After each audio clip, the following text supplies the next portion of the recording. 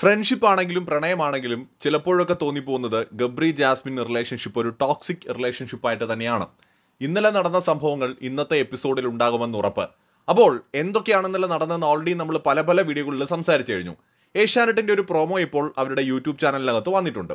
അതിനകത്ത് ഗബ്രിയും ജാസ്മിനും വേർ പിരിയുന്നുവോ എന്ന് ചോദിച്ചുകൊണ്ടാണ് പ്രൊമോ വന്നിരിക്കുന്നത്. സോ ആ പ്രൊമോയിൽ ജാസ്മിൻ നീ എന്താന്ന് വെച്ചാൽ ചെയ്യടാ എന്ന് പറഞ്ഞിട്ട് ദേഷ്യപ്പെട്ട് പോകുന്നതായിട്ടാണ് നമ്മൾ കാണുന്നത്.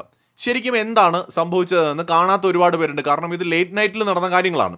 അപ്പോൾ ഓൾറെഡി നമ്മൾ പറഞ്ഞു കഴിഞ്ഞതാണ് ഗബ്രിയും ജാസ്മിനും തമ്മിൽ പിണങ്ങുന്നു. ഗബ്രിയാണ് പിണങ്ങുന്നത് പൊസസീവ്നെസ് ആണെന്ന് തോന്നുന്നു കാരണം. അപ്പോൾ അതിനുശേഷം ജാസ്മിൻ പുറകെ പോയിട്ടൊന്നും ആൾ വരുന്നില്ല. ഒടുവിൽ ഞാൻ ഇനി നിന്നെ ശല്യപ്പെടുത്തുന്നില്ല എന്ന് പറഞ്ഞ് പോയി ഒരു ഹഗ്ഗൊക്കെ ചെയ്തിട്ട് ജാസ്മിൻ പോയിട്ട് ആ ഒരു സോഫയിൽ കിടക്കുകയാണ്.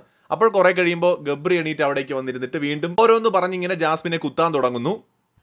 അങ്ങനെ കേട്ട് കേട്ടാണ് ജാസ്മിൻ പറയുന്നത് എന്റെ തല വെട്ടി പൊളക്കുന്നുണ്ട് ഇനി ഞാൻ എങ്ങനെ റിയാക്ട് ചെയ്യുമെന്ന് എനിക്ക് തന്നെ അറിയില്ല എന്ന് പറയുന്നു. അപ്പോൾ ഉടനെ ഗബ്രിയും പറയുന്നുണ്ട് ഞാൻ എന്ത് റിയാക്ട് ചെയ്യുമെന്നൊന്നും നിനക്ക് മനസ്സിലാവത്തില്ല എന്നൊക്കെ പറഞ്ഞിട്ട് ഗബ്രിയും തിരിച്ച് ഗബ്രിയുടെ കുറേ ഡയലോഗ് അടിക്കുന്നു.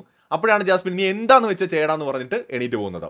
സോ ഇതിനൊക്കെ ശേഷം പിന്നീട് കുറേ സംഭവങ്ങൾ നടക്കുന്നുണ്ട്. എപ്പിസോഡ് കാണാത്തവർക്ക് സ്പോയിലർ ആയിരിക്കും. ഇന്ന് എപ്പിസോഡ് അത് കാണിക്കുമെന്ന് ഏതാണ്ട് ഉറപ്പായിട്ടുണ്ട് ഈ പ്രൊമോ വന്നതോടെ.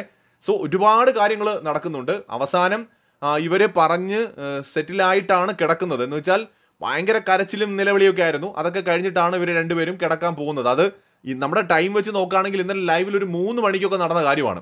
സോ അതുവരെയും ഈ ഇഷ്യൂസ് പോകുന്നുണ്ട്. അപ്പോൾ ഇന്നത്തെ എപ്പിസോഡിൽ ഇതൊരു പ്രധാന ടോപ്പിക്കാകുമെന്ന് തന്നെയാണ് തോന്നുന്നത്.